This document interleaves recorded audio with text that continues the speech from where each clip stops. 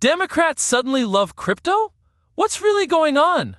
Hey everyone, Andrew here, your friendly neighborhood crypto expert, back with another spicy scoop of blockchain news.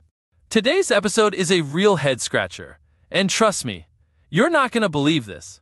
We're talking politics, baby, and how the Democratic Party is suddenly getting all lovey dovey with crypto. Imagine that, the same party that's been throwing shade at the crypto scene for years is now singing a different tune. Apparently, a bunch of Democrats wrote a letter to the DNC begging them to get their act together and embrace crypto. They even went so far as to suggest a pro innovation vice president who's all about digital assets. Talk about a sudden change of heart! They claimed that crypto and blockchain are the future, and that the Dems need to get on board or risk losing a whole lot of voters.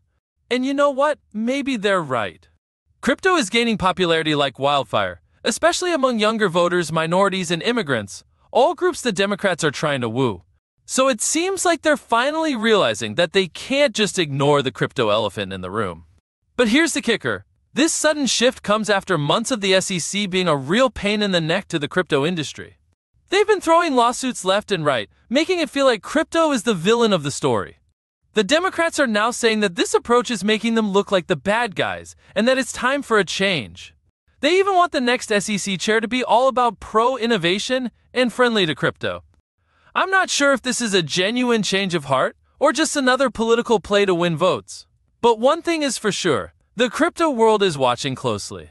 And we're all wondering what this sudden shift in attitude means for the future of crypto regulation.